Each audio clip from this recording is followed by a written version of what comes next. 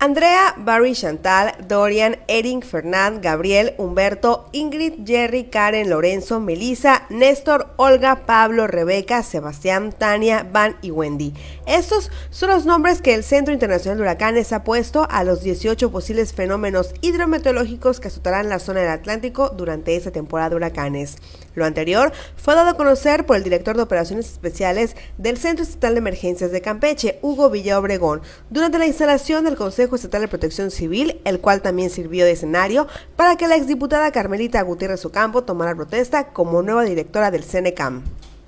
En el evento, Villa Obregón informó que durante esta temporada se ha pronosticado la llegada de 18 fenómenos naturales con la intensidad suficiente para asignarles un nombre, de los cuales 9 serían tormentas tropicales, 5 huracanes moderados de categoría 1 o 2 en la escala Saffir-Simpson y 4 huracanes intensos de categoría 3, 4 o 5. Villa Obregón destacó que de acuerdo a las estadísticas de los últimos sucesos meteorológicos, podrían ser dos los huracanes intensos que lleguen al territorio campechano, por lo que invitó a la población en general a mantener mantenerse alerta ante los boletines que la dependencia emita a través de los diversos medios de información.